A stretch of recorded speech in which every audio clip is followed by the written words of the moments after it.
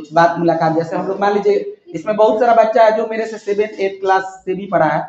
आज मान लीजिए नाइन्थ से पढ़ा है, कोई बहुत सारा बच्चा है जो नाइन्थ में पढ़ने के लिए आया, बहुत सारा बच्चा टेंथ में पढ़ने के लिए आया, बहुत सारा बच्चा इलेवेंथ में पढ़ने के लिए आया अब बहुत सारा बच्चा जो है आज ट्वेल्थ में पढ़ने के लिए आया। आज हम लोग का मान लीजिए कि आज के बाद से अब समझिए कि अब हम लोग का, चलो बाबू, आज हम लोग, ये अंतिम दिन मतलब इस क्लास का, लेकिन ऐसे ज़िंदगी में बहुत सारा दिन मिलेगा जिसमें हम लोग का भेंट मुलाकात होगा। अब वो अलग बात है कि देखिए, साल भर हम पढ़ाते हैं चाहे किसी बच्चे को पाँच साल पढ़ाते हैं। अब इसमें ये भी हो सकता है कि पाँच साल के दरमियान में बहुत सारे बच्चे को बहुत टाइट तरीके से बोल देते हैं, बहुत सारे को आराम तरीके से बोलते हैं। लेकिन वो सब बात देखो, बच्चा टीचिंग का एक जगह है। बहुत सारे बच्चे से फ़ी भी अपना मांगते हैं टाइट होकर के। तो फ़ी भी अगर नहीं मांगेंगे तो मेरा काम नहीं चलेगा। वो मेरा अपना तरीका है। कहने का मतलब है कि हम अगर आप लोग को डांट रहे हैं, पहला नंबर बात। हम अगर आपको बोल रहे हैं तो अपने लिए नहीं बोले हैं। तो 360 दिन के दरमियान में अगर मान लीजिए मेरे से कोई कमी बेसी हुआ है तो उसको आज अंतिम दिन सब लोग भुला जाएगा। हो सकता है पढ़ाते समय भी हम उतना अच्छा ना पढ़ा पाए हो, चाहे अच्छा भी पढ़ा पाए हो, कोई भी टीचर हंड्रेड परसेंट नहीं पढ़ा पाता है। आपको कितना बार बताया, रवि शास्त्री विराट कोहली को बैटिंग करने के लिए सिखाता है। रवि शास्त्री खुद अपने फॉर्मेट में एक शतक लगाया होगा, चाहे नहीं लगाया होगा। लेकिन कोच कमज़ोर हो सकता है, उसका छात्र कमज़ोर नहीं हो सकता है। जॉन राइट इंडिया टीम के कोच थे, सचिन तेंदुलकर को सिखा सकते हैं। तो अगर हम अगर तेज नहीं है तो इस चीज़ को आप लोग को आगे चल के भविष्य में करना है। इस बात को मानिए कि अगर आप भविष्य में मान लीजिए आप लोग ने कोई गलत काम किया हला बंद आ हम सुनेंगे तो इस बात का दुख ज़रूर होगा कि हमारे छात्र लख चाहे हमारे चेला लखो आ ऐसा काम में चोरी में चाहे छिनतई में पकड़ा गए। पहला नंबर बात। आप ही लोग में से कोई भी लड़का हो चाहे लड़की हो हो सकता है किसी आदमी का शादी हो जाए, सबका अपना अपना ज़िंदगी है। कल से आप कहाँ हम कहाँ, आज के बाद से मान लीजिए, हम तो मिल भी जाएँगे। आप ही लोग के बहुत सारे दोस्त साथी होंगे जो दस साल बाद मिलेंगे। जैसे मेरे दोस्त साथी मिलते हैं, दस साल बाद मिलते हैं। आप कहते हैं कि देखना आज कितना दिन के बाद मुलाकात हुआ। कितना आदमी पहचानना भूल जाता है, कितना आदमी बड़ा आदमी होता है तो पहचान करना भूल जाता है। तो इसमें एक और बात बोलना चाहेंगे, कोई कितना भी बड़ा हो जाए अपना पहचान नहीं भूलना चाहिए। बात बुझाए कि नहीं? इंसान अगर आप मान लीजिए अभी तक कमज़ोर रह गए तो ऐसा कोई बात नहीं है कि अब किसी बच्चा का मैथ्स बनाने अभी तक बहुत नहीं आया। मान लीजिए रिएक्शन नहीं है तो ऐसा नहीं है कि ज़िंदगी में वो कमज़ोर हो जाएगा। ऐसा कुछ भी नहीं है कि इंटर का एकदम साइंस पूरा मैथ बना लेता है तभी वो सफल हो जाएगा। सफल होना है, सफल कहीं से हो जा सकता है। आज से भी आप लोग मेहनत करिएगा तो सफल हो जाइएगा।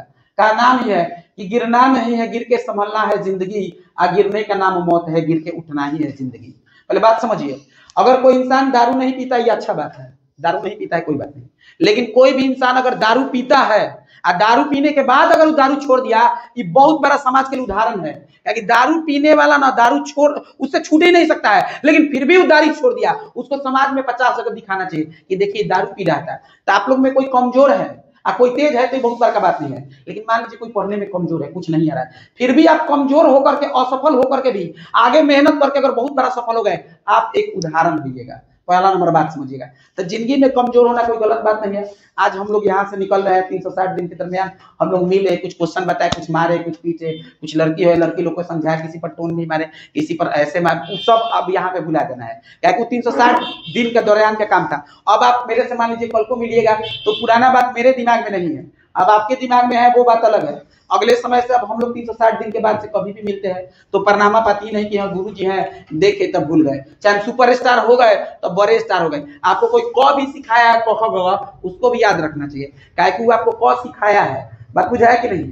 तो ये सब चीज़ अपना पहल होता है। और इस 360 दिन के दरमियान बहुत ज़्यादा लंबा भाषण नहीं देने वाले हैं। अगर कुछ गलत, सही, जो भी हुआ है तो उन सब चीज़ों को दिमाग में हटा देना है। अगर आप लोग को पढ़ाई ठीक ठाक लगा है तो अपने भाई बहन को बता सकते हैं। ऐसे पढ़ने के लिए वो कहीं भी पढ़े ऑनलाइन ऑफलाइन वो खुद मेहनत करेगा। सुनो दोस्त, वो खुद का मेहनत करेगा, तभी सक्सेसफुल होगा। गुरु कोई आएगा, कम बताएगा, ज़्यादा बताएगा, वो अलग बात है। हम 360 दिन के दौरान तोरा बच्चा को हंसाते हैं, खिलाते हैं, कभी टीचर डे आ गया तो नचवाते हैं बात अलग है।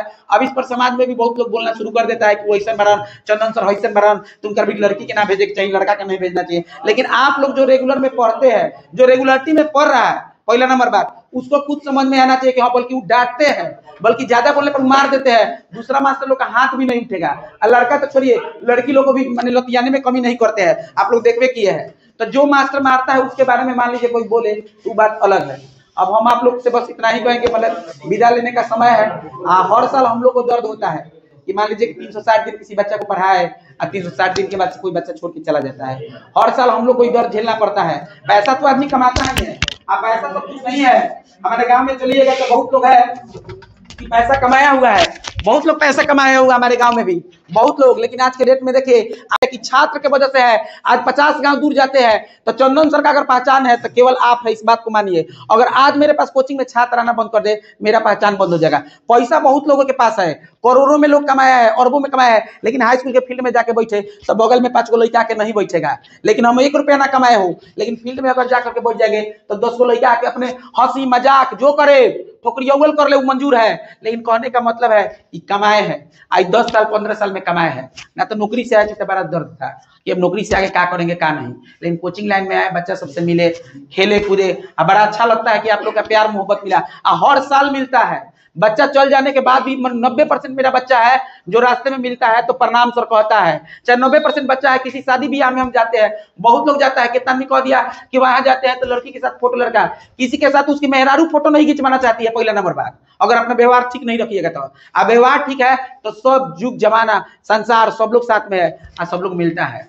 तो दर्द हर साल झेलने को मिलता है। लेकिन कहा नाम है कि देखिए, अगर एक जगह से बिछड़ते हैं तो अच्छे के लिए बिछड़ते हैं। इंसान कभी भी अगर एक जगह से निकलता है तो अच्छा होकर के निकलता है। और आप लोग यहाँ से निकल रहे हैं तो मेरा पूरा आशीर्वाद है। आगे बढ़िए, किसी भी क्षेत्र में, पैसा कमाइए। पैसा कमाना ज़रूरी है। अगर कोई कह रहा है कि केवल पढ़ने से पैसा कमाना ज़रूरी है हाँ एकदम इलीगल तरीके से मत आइए गैर कानूनी तरीके से मत आइए, लेकिन पैसा कमाइए।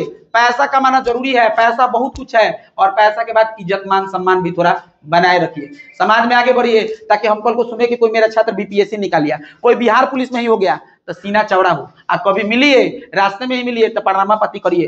कभी कोचिंग में भी आ जाइए। ठीक है, हम आपको आर्मी का तैयारी नहीं करवाए, लेकिन आप आते हैं तो आपका सम्मान करते हैं। और आपके सम्मान से आपको और दस बीस आदमी जानता है कि चलिए चंदन सर का छात्र है। ऐसा बात नहीं है।